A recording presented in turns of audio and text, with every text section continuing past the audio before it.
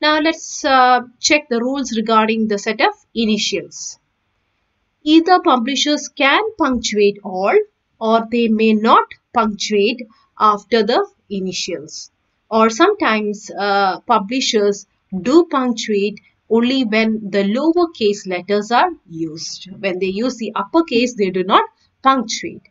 Now, um, abbreviation which consists of initials should have a point after each initial or no point at all. For example, P dot P dot M. That can be one way to um, write the abbreviation which consists of the initials or it can be written as PPM without any point. However, it would be wrong to write PPM dot. That is not um, advisable. That is not um, that is not the rule that is followed. Now, small capitals can be used uh, instead of full capitals for initials. Um, now, when small capitals are used, you should remember that if that is followed by proper names, I have given an example here, US uh, Library of Congress. Now, uh, if I use uh, small capitals there instead of um, full capitals, then it would look incongruous. Okay, so there it is better to use uh, full capitals instead of small capitals. Now, avoid the use of apostrophe in plurals. Now, NCOs, we are supposed to uh, use an apostrophe, but um, uh, the, the, the house style uh, is that it is better to avoid the use of apostrophe. So apostrophes are not used for plurals. Now, usually we use lowercase for AM and PM except in US time. In US time, it is not the lowercase that is used for AM and PM, it is the uppercase. Uh, usually, uh, in uh, British style, it is the lowercase that is used. Now, uh, talking about punctuation after abbreviation. Now, sometimes a sentence might end with a punctuation, for example, AM or PM. Okay, now uh, the, the abbreviation itself will be having a point. So there is no need to add an extra point to suggest that it is the end of the sentence. One point will perform both the functions. Now coming to italics. Now you need to certain um, ab abbreviations will be italicized. So which are those abbreviations that are italicized? Uh, those uh, italic words, those words which are written in italics such as books or journal names. So their abbreviation will be italicized. Now, uh, uh, sometimes there can be this Roman italic distinction as well. Uh, for example, when we refer to the um, the uh, the author, okay, uh, we use um, the the Roman, and to refer to the work, we use the italics. You have an example there: Sophocles, Oedipus, Coloneus. Now, Sophocles, the name of the author, is Roman and uh, um, Coloneus, uh, the abbreviation for that, Oedipus Coloneus, that is italicized because it is the name of the work. Now, um, whenever we have a list of abbreviations, it should be um, it should uh, be the same as that of the abbreviation that is used in the text. Okay, so that is something that has to be strictly followed.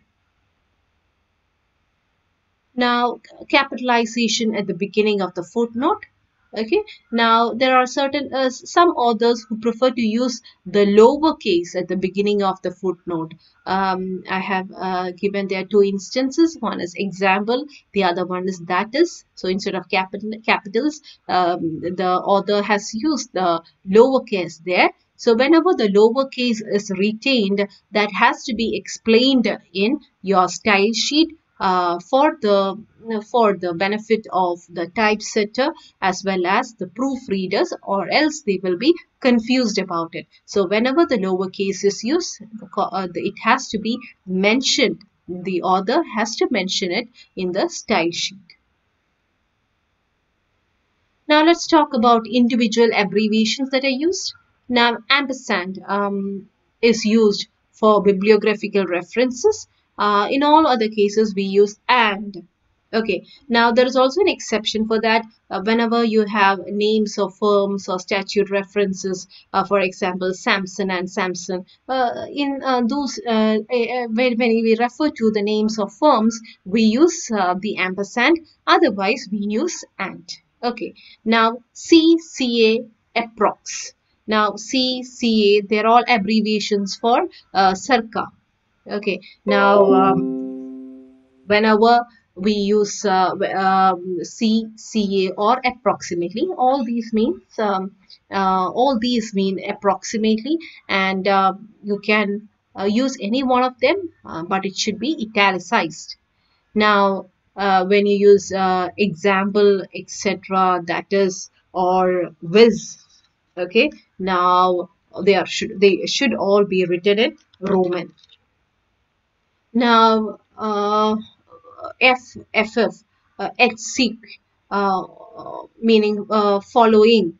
Okay, uh, so whenever these uh, terms are used, let's see what has to be done.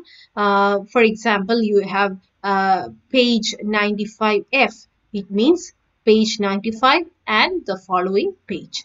Now, uh, page 95 expec meaning page 95 and an unspecified number of following pages. Now, um, you, you also use IBID, uh, loc. cit., IDEM, EDEM, etc.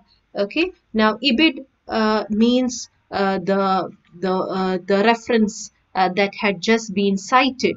Okay. Now, op. cit., LOCSIT, IDEM, EDEM, all uh, all mean um, the same as um, IBID. So uh, it is best to use IBID instead of uh, the other abbreviations.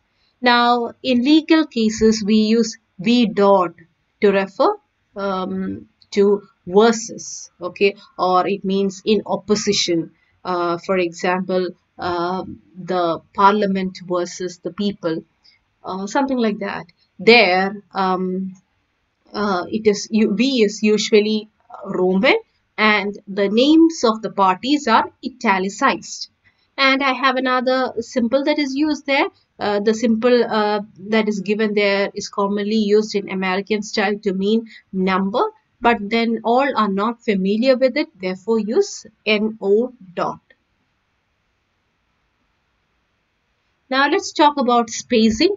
Many publishers have rules about uh, spacing common abbreviations such as uh, personal initials now you have, I have given there uh, examples of closed up uh, initials as well as spaced initials like AD, BC, example that is PhD. They're all closed up um, without any space.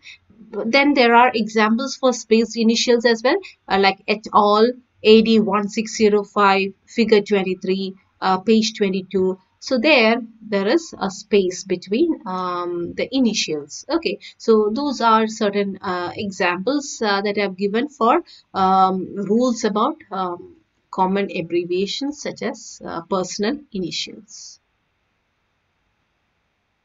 Now let's talk about uh, the list of uh, abbreviations. Now, um, sometimes there are a, a, there can be a lot of unfamiliar um, abbreviations in a book, and uh, that might appear from time to time. And then uh, it is better to compile a set of abbreviations, a, a list of abbreviations.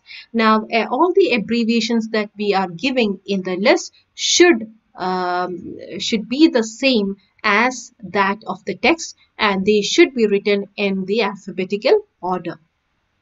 Now, if there are abbreviations used both in the text as well as in the footnote, it is better to uh, include uh, this list of abbreviations at the end of the preliminary pages. but then there are certain um, authors who also prefer to include it uh, in the in the beginning of bibliography okay. So that is about uh, the rules regarding um, abbreviations. We have also discussed about uh, the rules regarding initials um, and uh, we discussed about um, uh, the use of punctuations use of full points etc in today's class. Uh, we shall be discussing more about uh, rules related to copy editing in the coming classes. So see you again um, in, our, in my next video. Till then thank you